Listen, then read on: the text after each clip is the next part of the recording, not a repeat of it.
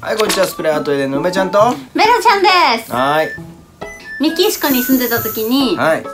一番はい。イライラしたことは何だった？なんかね向こうでね商売してたんだけどねタコス屋さん、まあ、バイトの子がいます。時間に来ない。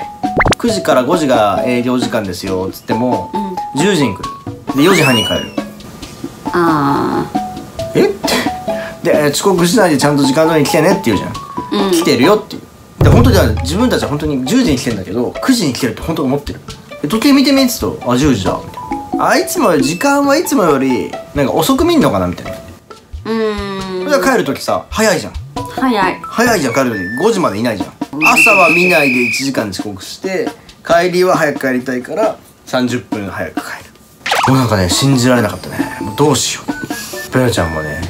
私も。うちらやっぱ喧嘩する理由ってやっぱ時間だったじゃん最初は多分いつも時間だったよね。なんか途中でもう諦めたなんか本当に行かないといけない時はマジでやばいけど。うん。まあそういう本当にちゃんと行かないといけないっていうことを減らした。減らしたそう遅だね。刻しても問題ない仕組みを作ったから、まあ、日本人が海外に行ったら真面目な人が海外に行ったら多分結構ねえ？って思うでこれでなんかこういうこと話してとか国際結婚でもいいし海外のことでもなんか質問とかあれば気軽にコメントで書いてください。で楽しいと思ったらチャンネルチャンネル登録と高評価お願いします。